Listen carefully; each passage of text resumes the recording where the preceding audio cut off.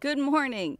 Is it taking you longer to build your business or your side hustle than you expected it to? If that's a reality in your life, I promise you, you are in really, really good company. It often takes longer than we expect to build our dream businesses. And that's because along the way, we have to pivot. We have to change our product or service. We have to stop a moment and automate processes.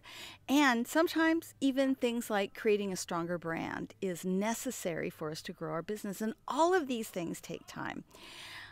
I have had to do all of these things and more as I'm growing my business, and it has absolutely taken longer than I expected it to.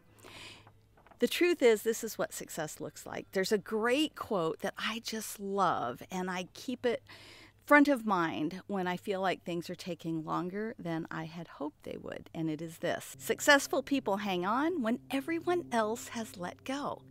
Here's the thing if you're on the journey, if you've started a business, if you've started a side hustle, you are already successful and you're going to achieve those goals that you've set out for yourself and your business if you just hang on. What if it takes longer than you expected it? Well, chances are it's going to because you are learning along the way. This is exactly how we build successful businesses, and this is how we rise.